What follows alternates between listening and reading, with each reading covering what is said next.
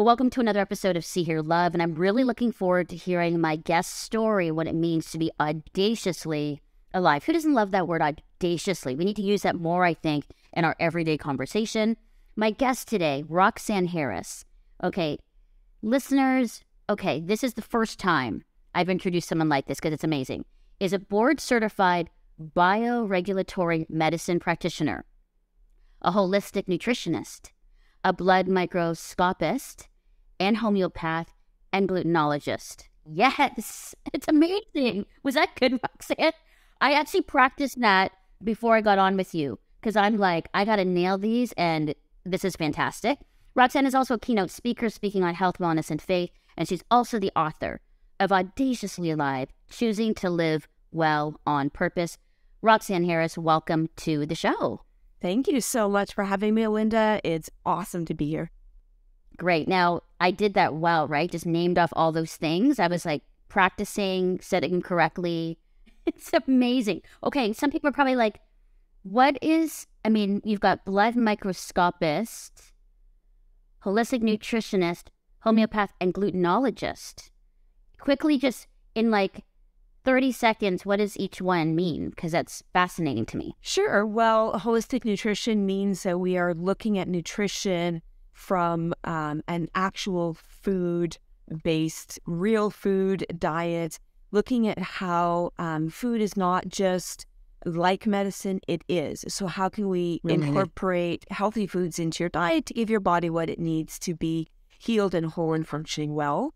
In blood microscopy, um, we look at the blood under a microscope. It's quite cool because the client gets to watch at the same time. So it's wow. like the most fascinating um, science experiment they've probably ever had. But what's really neat about it is they watch the blood and the cells interact. And when you go to the doctor and have your blood work done, they're just looking at whatever boxes they ticked. Whereas when we look at it under the microscope, we get to see it all at the same time how the body is functioning, interacting, deficiencies, excesses, uh, where the systems are being challenged. So it gives us again that root cause, what's really happening that's causing the complaints of the client. Wow. Um, and when we look at uh, homeopath, homeopath has been around for hundreds of years. Mm-hmm. They look at uh, medicine as minuscule doses, so teeny tiny doses of medicine just to support your body and help your body recharge, re energize, and enter into healing. And a glutenologist is someone who's specifically studied the effects of gluten on the body, on the cells, on the tissue. And we know that it's not just wheat, everyone. Uh, every grain, including rice or corn or oats, they all have gluten, and simply eating a gluten free diet is not enough to launch your body into wholeness and healing and and change. And bioregulatory medicine is an international degree, um, basically in functional medicine. So looking at the entire package, uh, the body, the soul, the spirit. How do we bring healing on every level and everything that we can incorporate to help the client uh, live their best life, fully alive, thriving, being audacious, making great choices, living well. That's amazing. Well done. You know, I look at that, I'm like, well done for you and just all of those areas. And I know that this will come in as we kind of discuss your story, but I love, you know, you're the author of this book, Audaciously Alive, Choosing to Live Well on Purpose. But you know, as I said in my intro, Roxanne, like we don't usually say audacious. Like live audaciously. That's audacious. Now, I, I want to say that more. I think I'm going to bring that into a couple meetings after this at my work and see what they do. But talk to me about what that means, audaciously alive or living audaciously. I know it connects with your story, but maybe talk about that. And I really want to get into your story because it's an incredible journey that you've been on. Yeah. And so audacious is kind of interesting because when I first started toying with, uh, well, who am I really? Like, what has made me able to show up to the degree that I did to actually reverse autoimmune disease?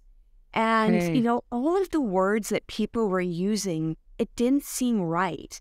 it was like, well, you have grit, you have determination, you don't stop, right? And I'm like, yeah, those are all true. Um, audacious sometimes is seen actually in a negative light. And so people are like, you shouldn't use that word. Yet it was the only word for my very close circle of friends and colleagues that it really fit. And so audacious is really it's that that grit, that tenacity. I actually wrote something in my book about that. It was uh, pretty direct and I think I actually I'm going to read it because um I think that it works really well with what we're talking about. Okay. And I, I just launch off and it says, My body is healing itself because I believe it will. It doesn't matter what the report of the doctors are. It doesn't matter what the x ray says, the blood work says, the scan says. I believe that God made my body to heal, repair, recover, restore, regenerate over and over and over again. I believe that Jesus paid the price that my body would be made whole. And so audacious is going above and beyond that grit or determination. It's deciding. It, you know, the scriptures say, let your yes be your yes and no your no.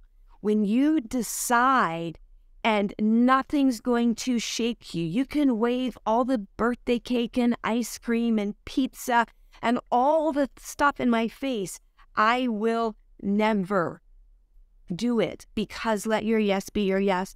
What I say about being audacious is I choose to see the possibilities and speak a better prognosis over my life, hmm. the prognosis of God.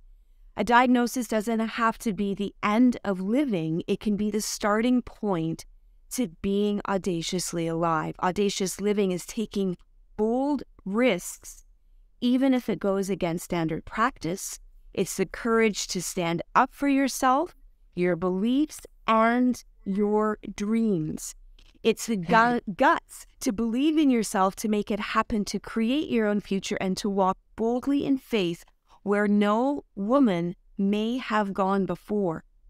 It's wow. having the moxie to say no and never look back and doubt your decision. Audacity is the stance of a warrior, knowing what she wants, going after it until she gets it, no matter what. And so for oh. me, yeah, yeah, that's amazing. So empowering. It it gives you where you are not, you know, kind of a victim of what people say or or you know what I'm saying? And when I say that, it's like I, what I'm what I'm hearing is we can make choices, healthy choices for ourselves, and decide to do that and make those steps. Right? Like that's really empowering for those who are just really struggling with their health and going, I don't know what to do. And that's what I'm I'm really grateful for this conversation, Roxanne, because I think there's a lot of our listeners See Hear Love who are in that same place, like struggling with their health, um, have a diagnosis or or a loved one, and it's like we need to encourage, empower, and infuse them with sort of this audacious living. So I, I love that in your book. Uh, obviously, we need to hear about for you because you only write something like this because you have been through something. Uh, so let's start with that. Let's let's sort of go back, maybe share a little bit about your background uh, and then to the prognosis, and then what has happened from then to now? I've had a life as most people have, right? You go, you do the high school, you go to university, you know, I studied nursing. I thought that's what, you know, I wanted to do. You know, then I had some very unfortunate situations with, you know, um, very challenging uh, outcomes for clients. I thought, you know, is this really you know, is this really what I want to do? Like killing people here, like not supporting them, not even being able to use what I learned about helping them with their food, their diet, you know, helping them with relaxation techniques. It was just so, you know, working in the box. And, you know, we got married. My husband, you know, took us, you know, to all these places with his job, you know, and became, you know, um, just a mom, right? Living my best life or what I thought it was. Uh, you know, I had a massive garden, grew our own food. We didn't drink, didn't smoke, didn't, eh, you know, uh, mm-hmm. do any drugs of any sort. You know, we were basically living life. But I had, you know, a lot of, I'll say, emotional stress, a lot of trauma in my past that I couldn't just, you know, let it roll off my back. I was holding on to all of these really unfortunate things, some of which I write about in my book. And we had three children. We moved to um, basically the Ottawa, uh, Canada area. And, you know, at that point, found out that my daughters had been sexually abused by a family member while my husband and I were here on a house hunting trip. And it devastated me. I, I can't, you know, even describe.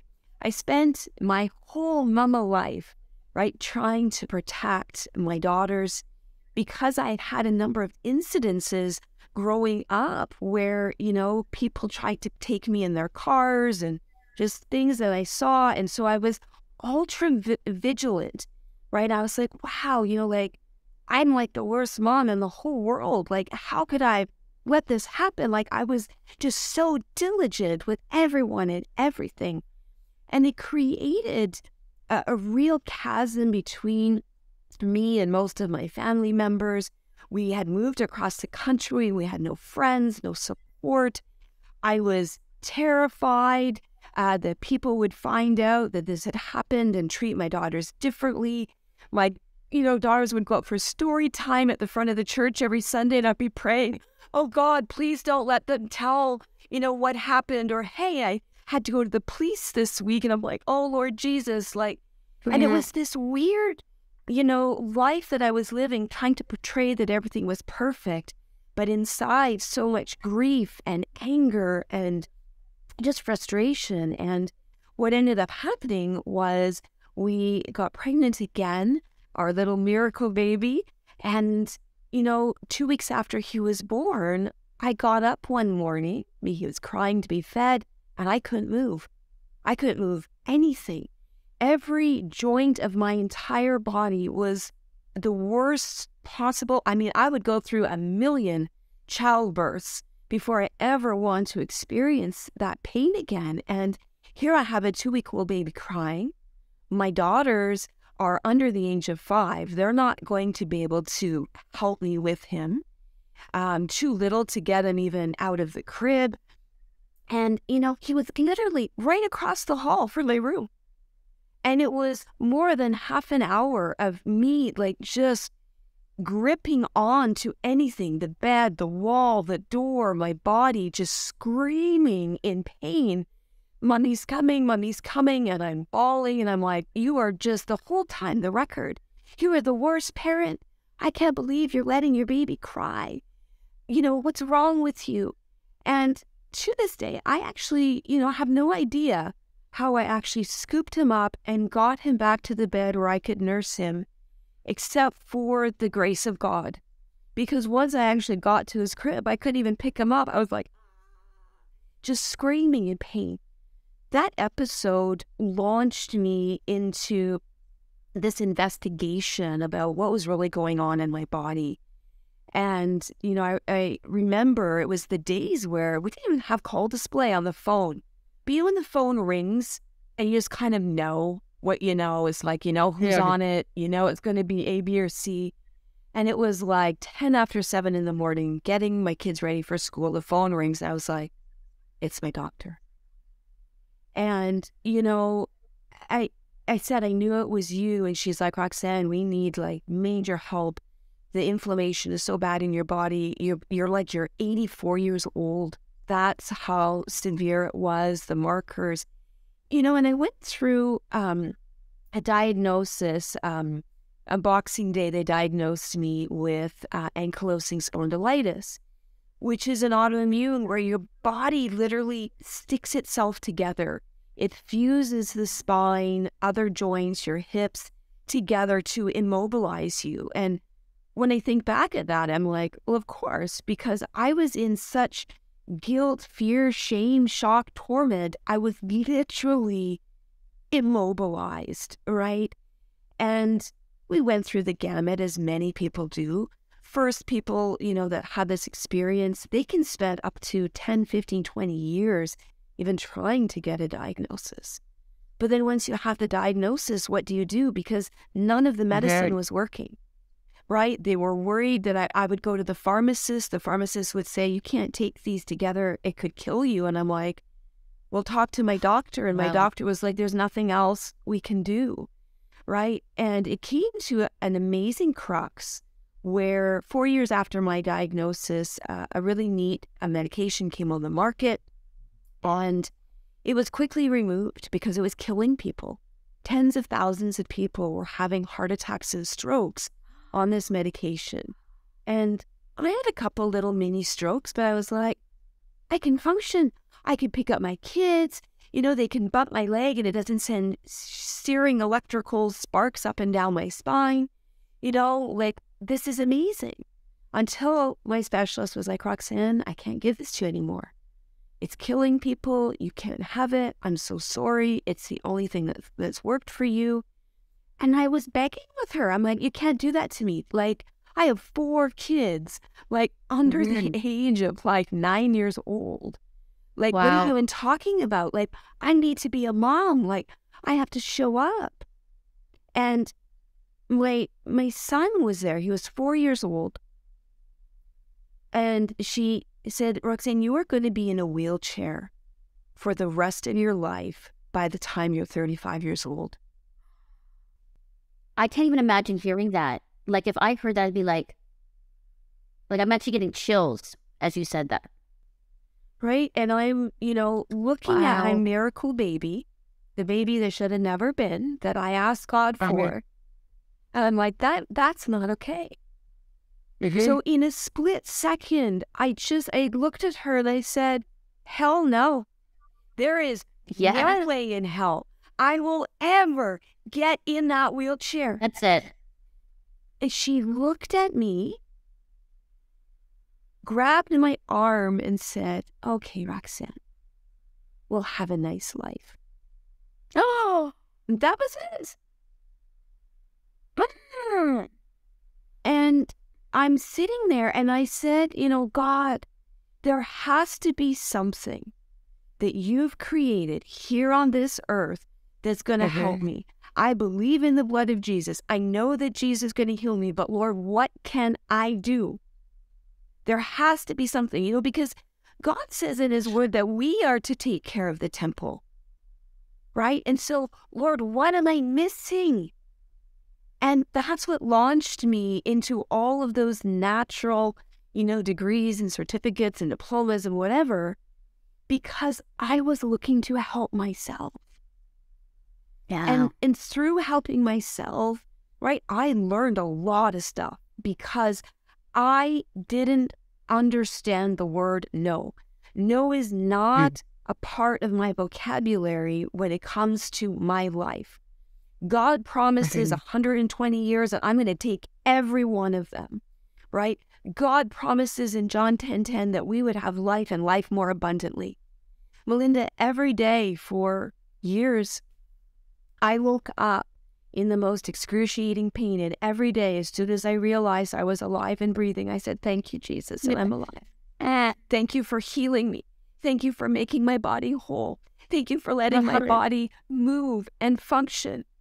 Thank you for life. Every day, and every day was worse. But every day I praised him and I thanked him because this is what healing is. Healing is calling that which is not yet visible or felt into reality. We're taking the word of God. He sent forth his word and healed them. And so I'm taking his word and I'm applying it to my life. God is a healing God. God is not a liar. God's promises are yes and amen, and they are true. As though if He did it once, He would always do it. Ezekiel, the valley of dry bones, was like my scripture. As a daddy, you did it once. He said, Let there be life in these dry bones. The bones rattled, mm. the bones got skin and membranes, and the bones became real functional people again. Daddy, let these dry bones be infused with life. Daddy, you did it once. So this was this was my lot and my process. I didn't know the word no. When the doctor said no, my husband used to laugh and say, Roxanne, when someone says no to you, it's like you take it as a challenge. Oh yeah? I'm gonna show you. Yeah. Right? You know, I had my my hips replaced because for years I threw my body forward to walk. Like I literally couldn't move my hip.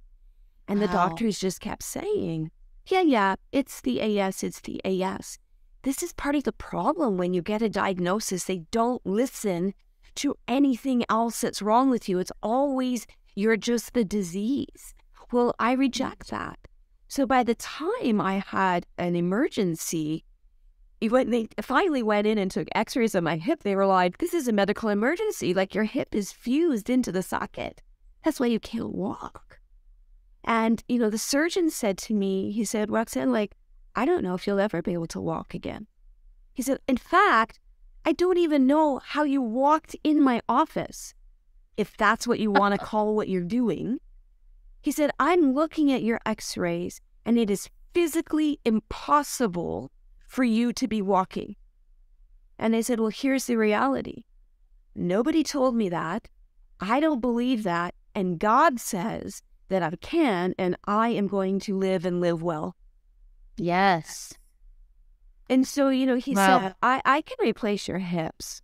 Uh, he said, but I don't know if you'll walk again. And he is delighted, right? Delighted at my mobility and the things that I'm doing. And if he could see me now, you know, I'm working out three times a day or a week with a professional uh, trainer. I, you know, I swim. I'm dancing again, things that I didn't do for like 18 years because Wow. of the pain, but I never gave up the hope. It's that audaciousness, choosing to live audaciously alive. I dream the impossible because the word of God says that all things are possible for those who believe. I can't wait So good. for impossible to stare at me in my face. I want to see it in the mirror, in my movements, in my dancing. Doesn't matter the challenge because I decided, I said to her, hell no. I'm never getting in that wheelchair, whatever it takes. And I pressed in for that. So this is so encouraging because I'm thinking of a few friends and other people I know that are in the place of I got the diagnosis or I'm in a very tough situation that I can't seem to get out physically and with my health. So I know that you've said like as far as you like I guess the encouragement Roxanne is what is the first step? Like do we proclaim like hell no, we're not going to do that?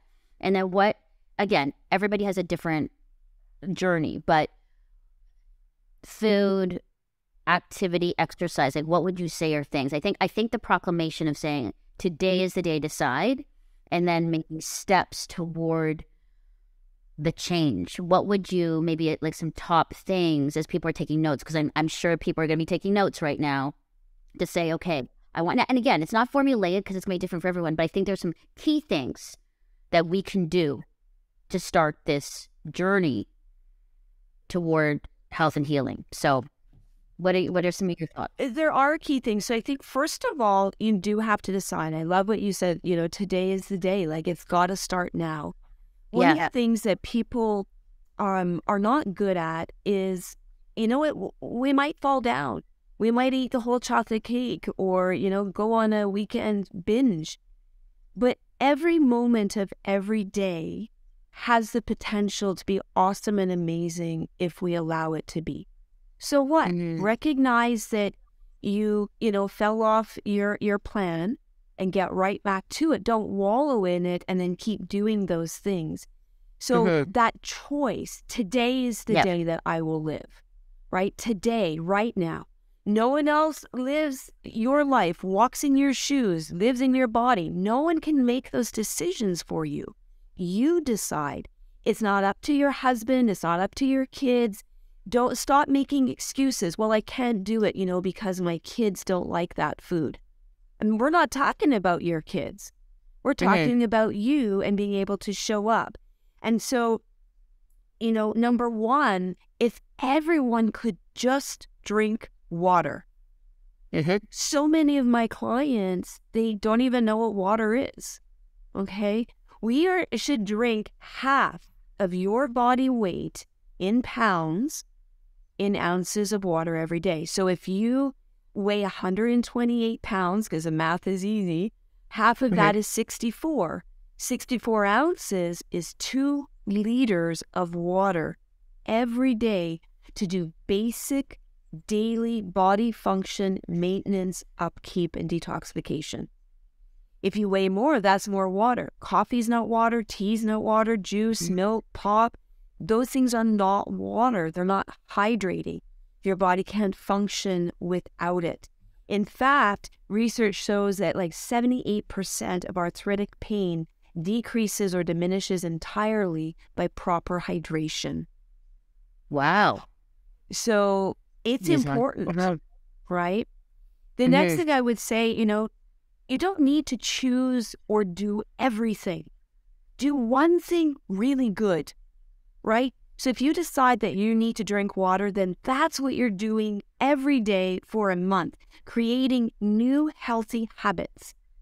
And I'd like to um, stack habits. Make sure that you're doing things that already link to other habits, right? So, mm. for example, maybe you have uh, three triggers. Maybe you want to, uh, let's say, do some jumping jacks because your lymphatic system is slow and sluggish and you got lots of cellulite and you're puffy. Well, guess what? You're going to do 25 or 50 jumping jacks before you get in the shower every morning. That's your trigger. Before the shower, I need to do my jumping jacks.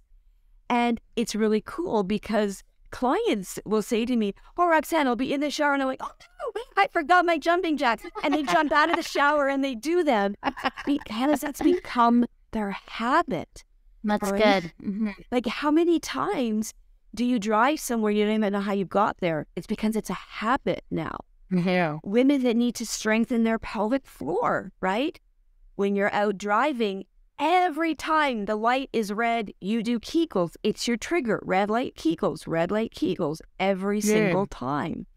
And so those things are really good. One of the other things across the board that will help every single woman is ladies, we got to get after the salads.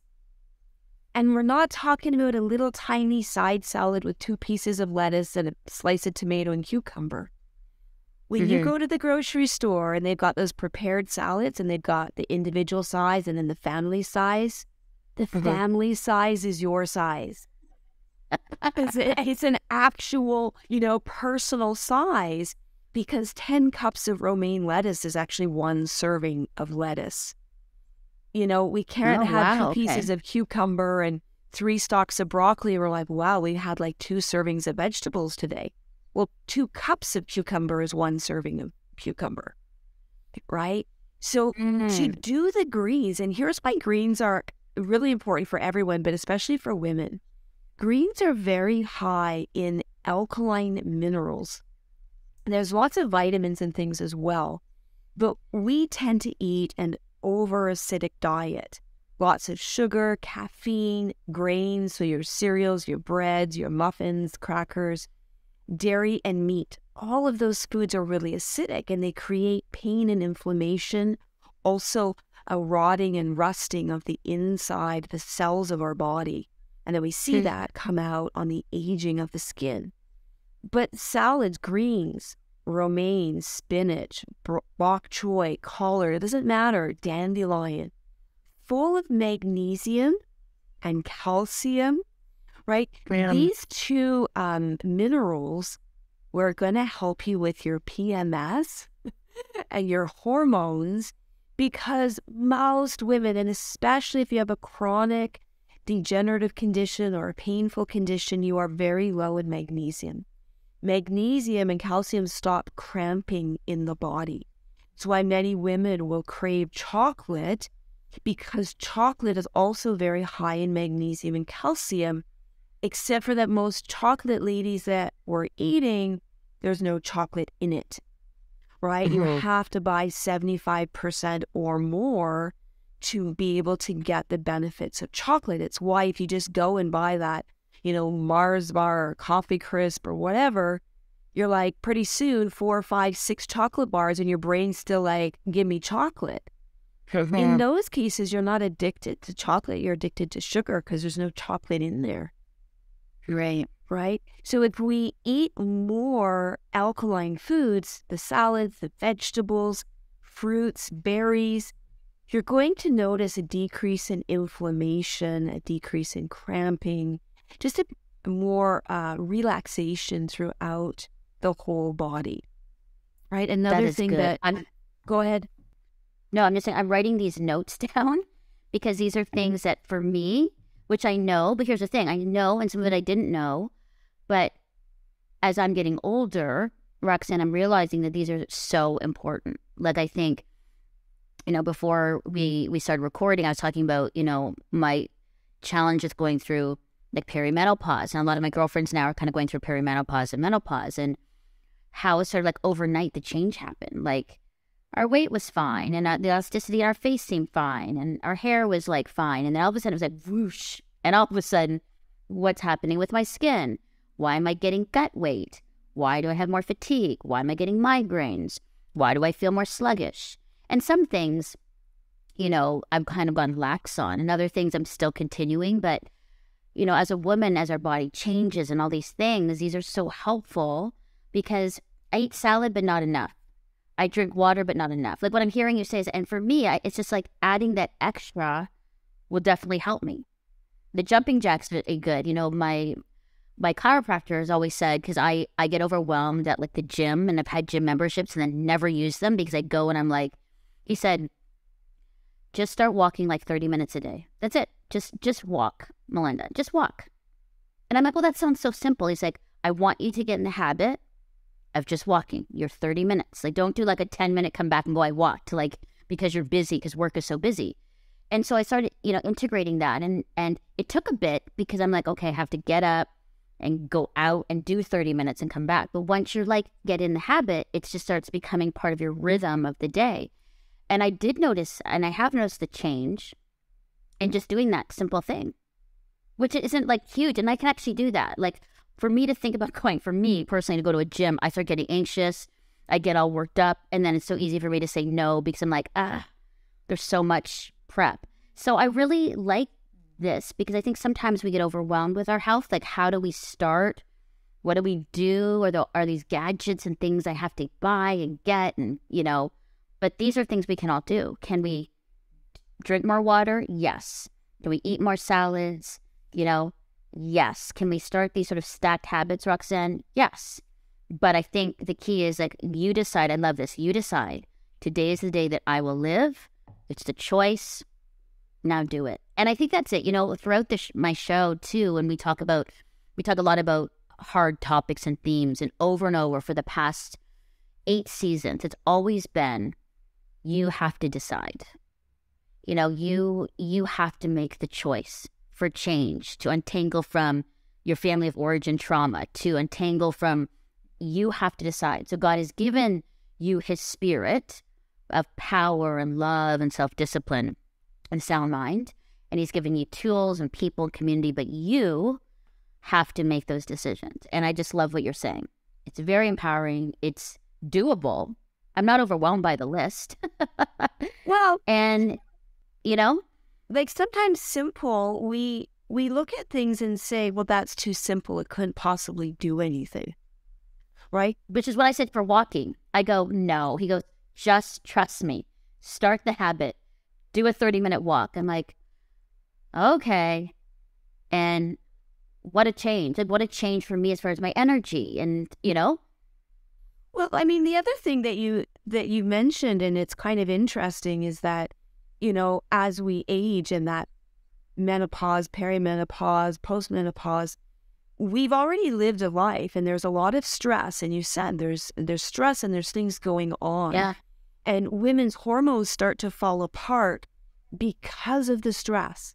When we are stressed, we are actually in sympathetic nervous system mode, which means fight or flight.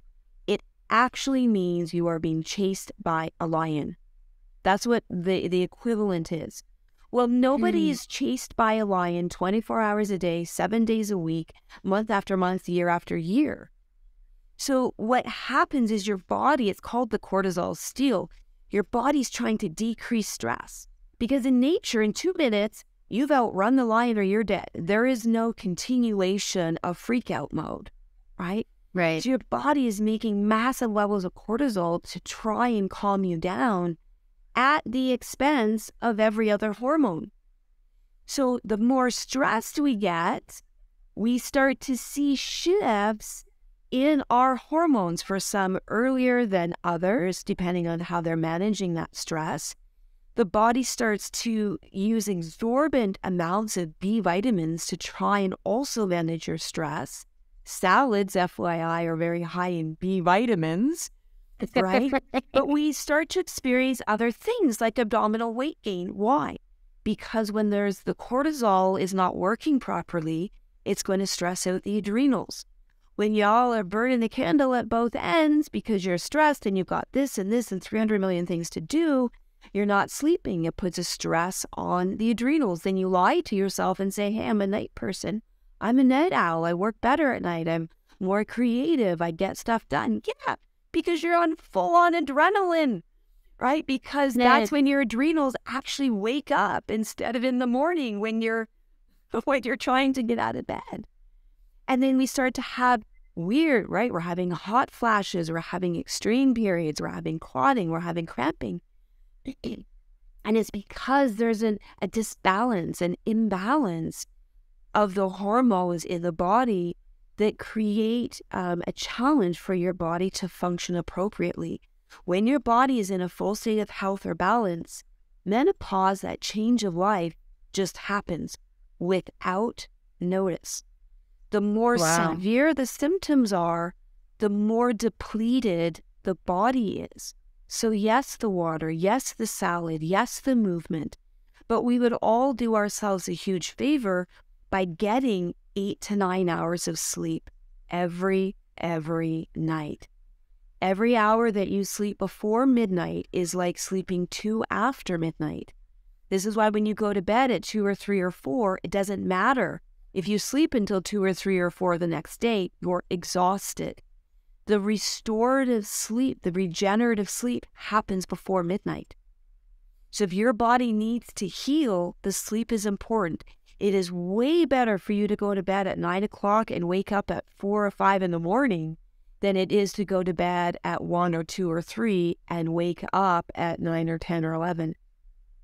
Mm-hmm. It's crucial for women. We have to understand this. And we all know that when we have had good sleep, we are more calm, we are more patient, we are more rational, we feel better, we react, we respond better to situations. And generally, we allow our inner radiance, our joy, our peace, our hope to shine through. We mm-hmm. become mm-hmm. the woman that God uh, wants us to be and how we should show up in this world. It's amazing, amazing Honestly, Honestly, as, as you're, talking, talking, I was, I was absolutely, absolutely listening, but I'm literally thinking about the text I'm writing after this conversation to my girlfriends and to my husband on these things. Because again, you know, like I was saying earlier, like I had, I had a girls', girls weekend, weekend, and, we've been, been meeting, meeting for like 20 years, and, and, and, it was, you know, it's, funny, to kind of think about the conversations 20 years ago to now, and all of the conversations now are all about health and our bodies, yes, and the changing of our bodies, and and so this is really practical things I want to send out to them to say, hey, these are things we need to do. Let's together commit to doing this. Incredible. So as we, you know, finish up here, Roxanne, well, I let's just oh go ahead. And go to ahead. add that, I think the community is very important, Melinda. Right? Having other people support you and not let you cheat on yourself. So that when you go out to the restaurant, right, and you want the milkshake and they're like, hey girl, you made a decision. You committed to living well. Let's have some sparkling water and throw a lime in it for pizzazz, right?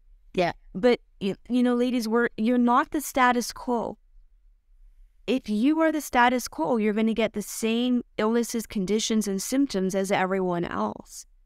Want more for your life, show up for your life, choose more for mm-hmm. your life. Good. Right? Yeah. And then find the people around you that either want to do the same, right? Or at least encourage you to do the same. It's really yeah. important. That's amazing. The community want more for your life. And, you know, I think that's the thing for me. Mm-hmm. It's like why I'm also saying this, I'm texting because I'm actually saying to them, I'm committing to it. So as soon as you, and that's always scary, as soon as you put it out there, they can usually text back and go, How's it going?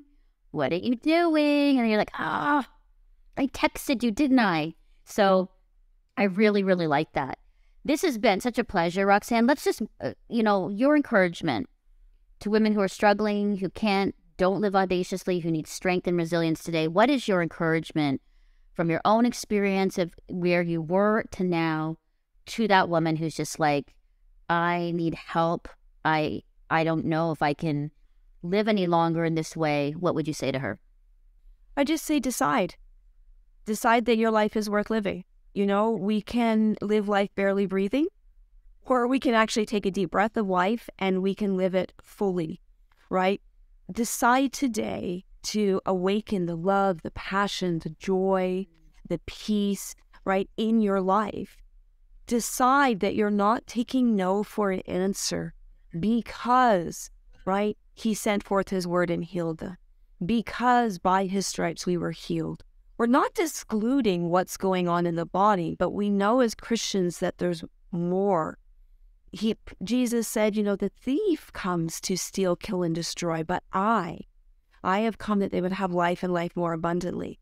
So if you find yourself, you know, just laying in bed because you can't cope, the pain, the emotional trauma, whatever is going on, decide to get up. It doesn't matter if you just sit on the edge of your bed, that's better than laying down. Maybe you move to an armchair. Maybe you decide that every day I'm getting up, I'm having a shower, I'm doing my hair, I'm doing my makeup, even if I'm not leaving my house because I want to feel good we all know how good it feels to have a shower after we've been, you know, unwell for a few days. Amen. But ladies, you know, don't let um don't let society decide to live your life. Okay. Right? You need to decide and make the choices that serve you. Right? And then don't waver. Don't be wishy washy, some versions of the Bible say. Let your yes be your yes. My life matters. Ladies, you can't show up to your spouse, your children, your friends, your family, your community if you are not the the optimal you. And I get it. Many of you are perhaps bedridden or wheelchair bound or you've got things going on. Find people that support you, that encourage you, that nurture you. Find practitioners that will partner with you, but know what your dream is. What do you want for your life? And show up for that dream and make it happen because you can. Incredible. Roxanne Harris, where can we pick up your book? Because I know now after listening to this, people are just like, um, we need to get this book. We want to hear more of the story and her tips. There it is. There it is. So audaciously alive. Sorry, it's backwards for y'all. Uh, you can pick it up anywhere books are sold. Amazon. You can go online. Chapters, Indigo.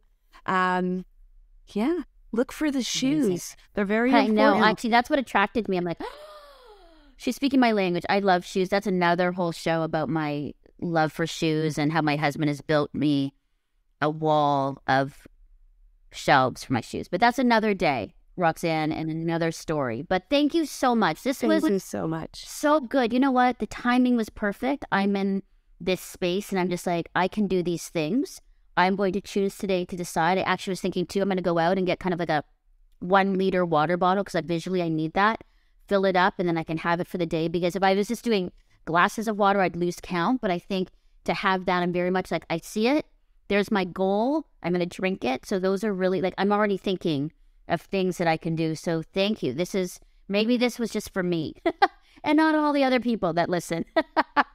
well, Melinda, you can uh, put some elastics around that water bottle. So if you need to drink three liters, put three elastics. Every time you finish, take one off so that you know how many liters you've actually had. That's excellent. I love it. Roxanne Harris, thank you so much for being with us here on See Hear Love. And to our listeners and viewers, I just want to say this what Roxanne said decide, decide, you decide that today's the day that you will live. Here we are cheering you on. It's a choice. We want you to make that choice today to decide to live. And I'm I'm so encouraged by that. And as you do, dear friend, listener, and viewer, know that in the struggle and in the hope, which again, sorry, I need to say this to Roxanne, that idea of when you're when you're praying, I, I, I never heard this. I love that. That healing is that which is not a reality yet, and you were praying, God, I you are good. I am thankful, and like speaking that out. I think that's another thing that we have to remind people to do. That even in that place where you're just like, well, I'm not healed and I'm feeling like this, you still proclaim and pray because that is faith and that is hope. And so, again, viewer, listener, know that as you do all these things, as you decide, you are seen and you are heard and you are deeply loved by God. Thank you so much for joining us.